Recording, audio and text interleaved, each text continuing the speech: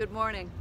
It's Kristin coming to you from the St. Marianne Cope Shrine and Museum Garden. It's a beautiful sunny day here in central New York and I'm here standing with the statue of St. Marianne that was made by one of the sisters of St. Francis.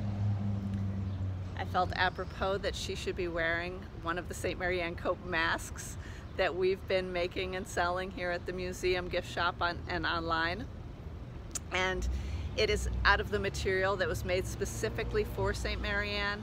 It has beautiful pictures on it of her time in Molokai with quotes and Father Damien and it's 100% cotton and very soft and breathable and really wonderful.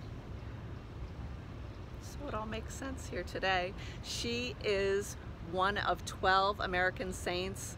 You know, the Roman Catholic Church has over 10,000 saints and there are only a dozen American saints.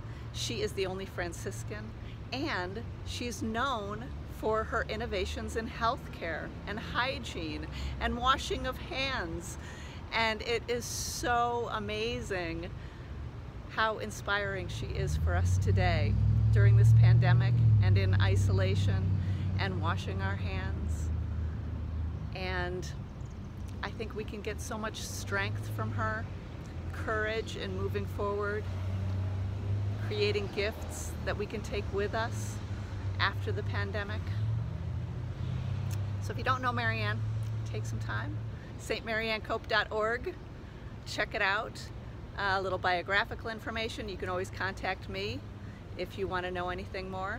And the gift shop at stmaryanncope.org also has our masks. So take care, enjoy the sunshine, it is beautiful.